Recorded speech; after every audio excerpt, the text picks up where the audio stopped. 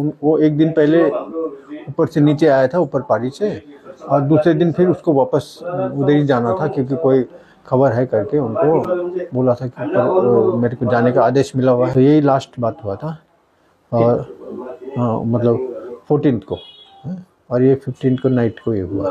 जी, आज के हमें खबर पे थी कैप्टन ब्रिजेश थापा। ওনার পোস্টিং ডোডাতে জম্মু কাশ্মীরতে হয়েছিল। এক কালকে রাত্রে ওখানে একটা টেররিস্টকে নিয়ে কিছু ঘুসপেট হয়েছে। তো ইন্ডিয়ান আর্মি যে প্রোটোকল ওদেরকে ওখানে পাঠিয়েছে, ওখানে উনি শহীদ হয়েছেন। আমি খুবই দুঃখিত এটাই আমাদের ইন্ডিয়ান আর্মি আর ওদের জন্যে আমরা এখানে রাত্রি ঘুমাতে পারি।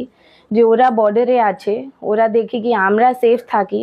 তার জন্য এখানে আমরা যে সিভিলিয়ানস রাত্রি ঘুমাতে পারি তো আমি we are all very proud উনি থার্ড জেনারেশন আর্মি অফিসার ওনার দাদা আর্মিতে ছিল ওনার বাবা আর্মিতে ছিল এখন উনি এক ক্যাপ্টেন मैं अपने क्षेत्र की जनता और देश की जनता की ओर से शहीद अ, मेजर ब्रिजेश थापा जी और उनके साथ वीरगति को प्राप्त अन्य सैनिकों के प्रति श्रद्धांजलि अर्पित अ, करता हूं। नमन है दार्जिलिंग की मातृशक्ति को जिन्होंने देश की रक्षा के लिए ऐसे वीर सपूतों को जन्म दिया। दार्जिलिंग क्षेत्र की हमेशा से विशेषता रही है। आज़ादी से अब तक हमारे क्षेत्र ने हमेशा देश के लिए अपना सर्वोच्च बलिदान दिया है। शहीद कैप्टन ब्रिजेश थापा, जिन्होंने मात्र 27 साल की उम्र में देश के लिए अपना सर्वोच्च बलिदान दिया। भारतीय गोरखाओं के मान सपूतों में आज उनका नाम शुमार हो गया।